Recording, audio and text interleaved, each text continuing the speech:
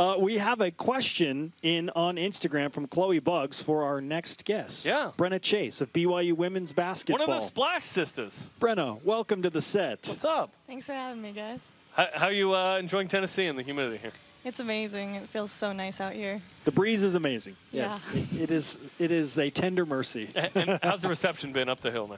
Oh, great. Everybody's so nice, and it's it's nice to have a lot of fans here. I feel like a lot of women's basketball fans up here. So Well, you made a lot of fans because of what your team did, and uh, you specifically did in the West Coast Conference Tournament and in the NCAA tournament. Now, Chloe Bugs on Instagram asks you this, Brenna.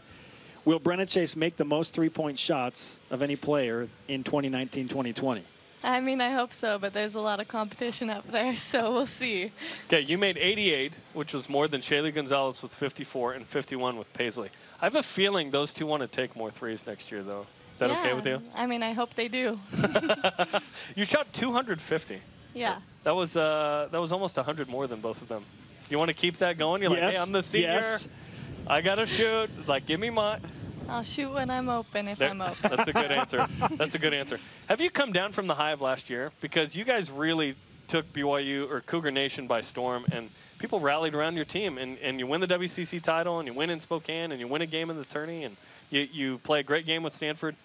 That was a very memorable season. How have you kept that momentum going? Um, I think that we all just weren't satisfied, and so we want to do more next year. So yeah, we're we're still on that high from last season, but we want to bring it into this season and make it even more special. How do you do that? Um, I think we do that by well, our team is so young, so now that they have experience under their belt, I think it helps a lot.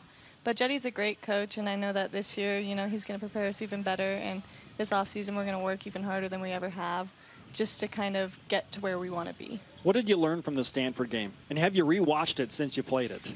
Yeah, I actually watched it for the first time last week. It took me a while because I was kind of upset. Yeah. But um, Yeah. we learned a lot from that game. You know, we learned that we can hang with a team like that, but we have to put four quarters together against a team like that. We can't slack at all, and I think that third quarter really hurt us against them. And so we kind of learned that if we can put four quarters together against a team like that, we can do something really amazing. One of the keys to getting through that second game is just being a great seed. So you play a team that's worse, right? So um, this team was a seven seed, tying the highest seed ever. Do you want the schedule to be tougher so that you're maybe in a position to be a higher seed? Yeah, and um, I'm pretty sure this next year's schedule is a lot tougher, so it's exciting to kind of see who we play in the preseason. Hasn't come out yet, but um, we've heard a couple names, which is exciting, and I know that we can have a better RPI this year, which can give us a better seed. You know, you could come back here, right, and play Tennessee and Vanderbilt. That'd be awesome. I'd Tennessee be would totally be legit, down. right? Yeah. Hey, the, the Splash Sisters would welcome that, right? Yes, they Of would. Do you like that nickname? Is that the official nickname of I the trio? I guess so, yeah. Yeah? Shaylee, Shaylee put that out there, and it's stuck, so we'll take it. It has stuck. Jerem's bought into that hard. I love it. Yeah. Yeah. Sis does. No question. No question. Brenna Chase of BYU Women's Basketball with us on BYU Sports Nation.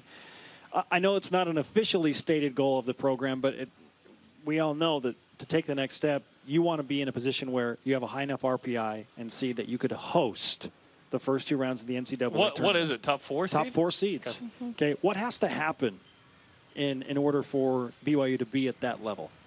Um, we've talked about it a little bit, but definitely that preseason schedule has to be a lot tougher. And then I think another thing for us is we dropped a couple games last season that we shouldn't have dropped, and we can't lose those this year if we want to get that one through four seed. So And Sara Hamson is not playing volleyball, right? She's Yeah. just going to play basketball. So you'll have her in that first part where maybe you stumbled a little bit, right? exactly, yeah. And I think it'll be really good for Sara to grow and progress this summer, to be with us all summer, to kind of focus on her craft, and it'll really help her become a special player next year. Two people gone. Caitlin Aldridge as a senior. Jasmine Moody comes back. Mm-hmm. Um, but Dan Nielsen to Utah Valley, one of the assistant coaches. Uh, what do you what do you want to say about Dan Nielsen going to UVU? And then we don't know the new assistant coach. Yeah, well, um, Dan's great, and I love him. I'm, sad he's leaving, but um, I totally understand why he needed to do this for himself, and I can respect that and be happy for him. And obviously, it's it's a sad thing, but I think it's good for him and his family, so I'm excited for him. And then, as far as the new coach, I have no idea, so it'll be interesting to see who Jetty brings in. I'm sure whoever he brings in will be great, and you know, I trust their judgment, so I'm excited. How are you a different player now as you approach your senior season compared to when you were brand new to the program as a freshman? Oh, well, actually, a lot has changed. Um, I feel like definitely confidence wise, it's gone up. And IQ wise, I would say I've gotten a lot better because that has been the most important thing for me, as far as fitting into Jetty's system, you have to have a really high IQ, and definitely in college sports, it's it's a next level. So. What's taking more of your time, your preparation for next year or for your wedding on August 22nd? Um, I'd have to say they're a little even. My mom's helped me a lot with the wedding, so.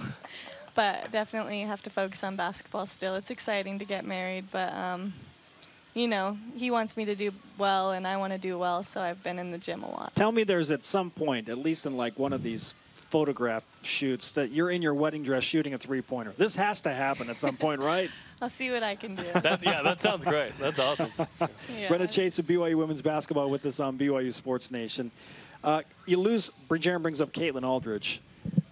How do you replace a player like that? Because she was kind of off the radar, and then all of a sudden she was like this integral part of BYU winning a West Coast Conference championship, and now she's done as the graduate transfer of sorts. So, how do you replace that? Uh, I think Kate's irreplaceable. You know, she's got a special place in all of our hearts, and she's such a great player and teammate. So it'll be interesting to see who Jetty brings in. I mean, I think we'll have a couple good players coming in, and it's exciting. And I think Babalu can step up, or Signe, or even Jasmine at the four position. And she's got a nice little three-point shot, so hopefully she'll take it a little more. I, I guess I shouldn't call her a graduate transfer. She just had a, an extra year of, of eligibility. Yeah, we thought she was a senior, but she has a second year. Yeah, whatever. It's like Zane, where it's like, you're a senior twice. Yeah, super, senior, Yeah. super senior. I think I was that academically. I don't know. Yeah. Brenna, uh, let's give you some BYU Sports Nation karma to survive the summer. It's Good going to be, your it's gonna be wedding. crazy. Yeah, that's exciting. It's, it's going to be crazy. Congratulations on everything. We look forward to another fantastic year. Thanks, guys. Appreciate Thanks, Brenna. it.